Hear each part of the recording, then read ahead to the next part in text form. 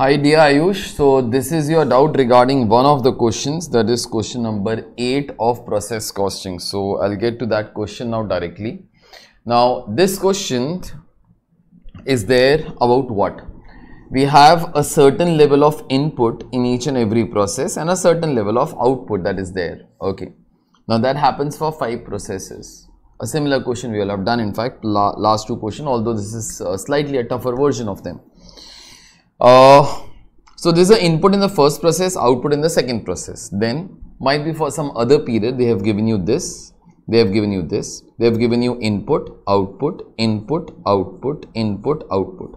And they have asked you what? Determine the input required in each operation for one unit of the final output. If you want one unit of the final output, how much you have to input in each and every operation. Now your previous two questions was you only find out the input in the beginning. Now you try to find out input at each and every stage. So you do it now separately for each and every process. Okay. Uh, example. I'll start with the last process. It'll become bit easier. This is 14400. This is the input. If this is 1, this will be how much? So pick up your calci. It is 17,280 divided by 14,400. So therefore this will be 1.2. So therefore if this is 1, this is 1.2. Now this 1.2 is the input of the of the fifth process. Okay. Now try to be going backwards now. 23,400, 21,600. If this is the input, this is the output. But now output in this case should be input of the next process. So therefore if this figure is 1.2 then how much should be this? So therefore I'm taking this as 1 and trying to compute everything backwards. So therefore, if this is 23,400, this much is output. But if you want output as 1.2, what should be the input? So therefore, 1.2 into 23,400 divided by 21,600. So this figure will be coming to 1.3. This 1.3 can be put over here. 1.3 into 18,900 divided by 17,550.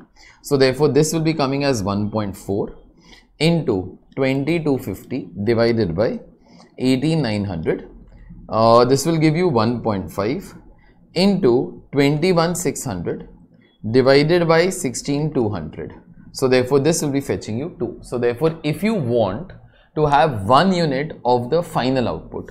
You got to be having how much in each and every process? 2 then 1.5 then 1.4 then 1.3 then 1.2 that answers your first part of the question. Okay second part. Calculate the labor and the overhead costs at each operation for one unit of the final output okay? And the overhead cost for all the operation for one unit of the final output. See what those guys are saying calculate labor and overhead cost for one unit of the final output. See now 194 400 is supposed to be your total cost. Okay. 194 400 is supposed to be your total cost. Take that thing on your calci now this is total labor and overheads in process 1 I'll divide this particular figure by 21600 now do remember 21600 is what? This is the total input that is there if you'll divide this by this it comes to rupees 9 okay. But the next thing is you got to be inputting two units over here to get one unit over here beta. So into 2 so therefore this will be fetching you your first answer that is 18 i'll tell you for the next one then you, you can continue i guess. You'll be able to understand. 141 750 is supposed to be the cost for 2250 units. So 141 750 is the cost for 20250 units. So therefore this is 7 but you got to be inputting 1.5 units over here to get one unit of this. So therefore into 1.5 so therefore this will be coming to 10.5 so on and so forth. Okay. I hope that uh, that will answer your doubt. In case of further doubts please you can message us on our telegram channel. This is a nice question. Uh, only difference between the previous two questions in this. There we had only worked out how much input you got to be doing in process one here they had asked you for each and every process. Okay that's it. Thank you. Bye